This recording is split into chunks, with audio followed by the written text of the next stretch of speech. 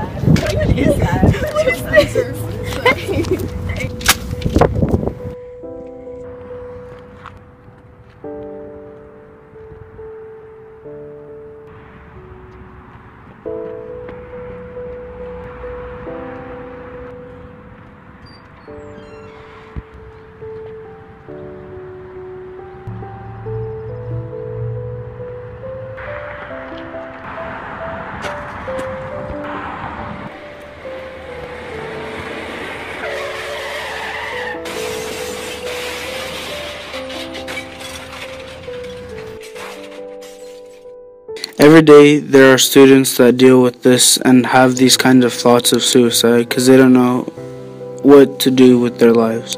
They don't know how to properly think because they are getting bullied constantly, getting detention, getting yelled at by their teachers and maybe also by their parents at home.